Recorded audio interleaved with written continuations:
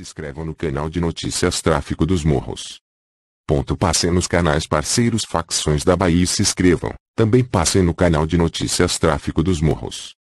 Se inscrevam nos canais Jornal das Favelas e Favelas News e Facção News pois ele perdeu o seu canal de 8 mil inscritos. Sigam nossas redes sociais no Facebook Favelas News e Facção News, no Twitter e Facção News, e no Instagram e Favelas News. E que Deus abençoe a todos que me ajudam compartilhando vídeos e se inscrevendo no meu canal.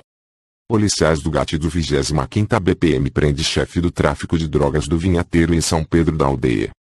No início da manhã desta terça-feira policiais do GAT do 25ª BPM sob comando do capitão Caldas e tem Madureira em patrulhamento visando coibir roubos de ruas e roubos de veículos além de outros delitos.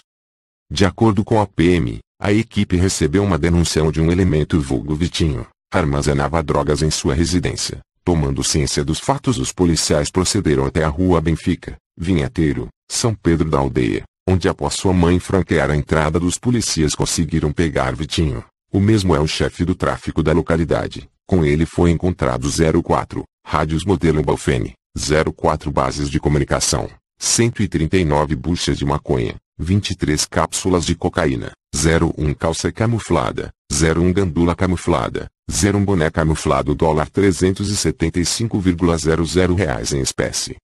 Ponto. Se inscrevam no canal de notícias Tráfico dos Morros.